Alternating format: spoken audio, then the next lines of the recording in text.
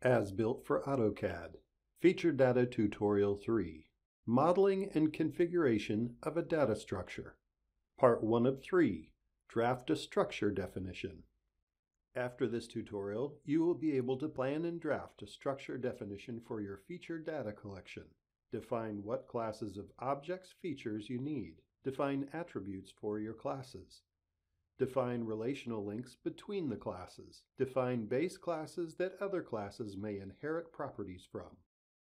To work with this tutorial, you need a fully installed version of AutoCAD or AutoCAD LT, into which As Built for AutoCAD has been integrated. You should also have read the Feature Data Model chapter of the As Built for AutoCAD User Manual, which provides the theoretical base for the following example.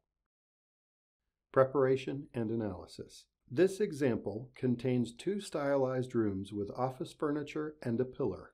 There are three types of furniture, tables, chairs, and chairs for guests. The structure definition to be created must meet the following requirements. Recording of rooms with surface area, room number, and use. Recording of furniture and inventories with inventory number, price, and type of furniture or facility grouping of some furniture to workplaces, allocation of furniture and inventories to rooms, assign employees to workstations. There are many plans of the same kind. Draft of a structure definition. After due consideration, you might get the following structure definition. The predefined classes area and subarea with their attributes, surface area, perimeter, and factor are used as basis for the classes room and room polygon, since the surface areas of the room need to be calculated and the facilities are to be assigned to rooms. Therefore, room inherits from area and room polygon from subarea. Room and room polygon are linked by room has polygon. Workplace and inventory inherit from facility and are linked with the rooms by has facility. Workplace and inventory are linked by Workplace has inventory. The remaining information has been assigned to the respective classes as attributes. Attribute definitions follow this format. Attribute name, data type. Text, any character string that must be entered when changing an attribute. For example, the attribute employee is a text type. Key, a unique key value. Every object receives another value for this attribute. For example, inventory number and room number are a key type. Selective list and enumeration value can be selected from a predefined list. Inventory type is an example of a selective list type.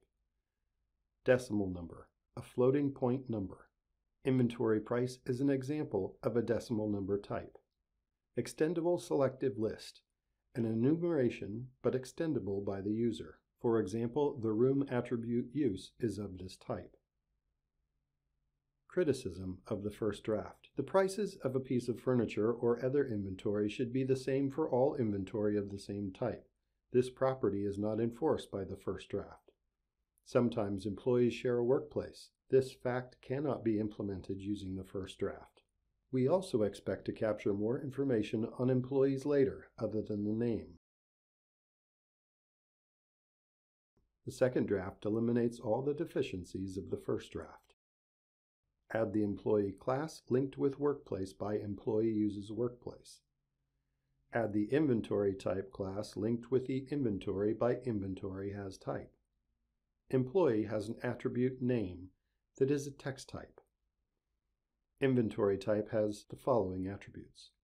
Description is a selective list type, and price is a decimal number type. Notice the major changes highlighted here.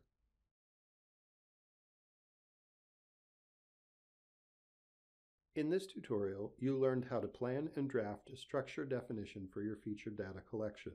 Define what classes of objects features you need. Define attributes for your classes. Define relational links between the classes. Define base classes that other classes may inherit properties from. Realization of the draft inside as built for AutoCAD.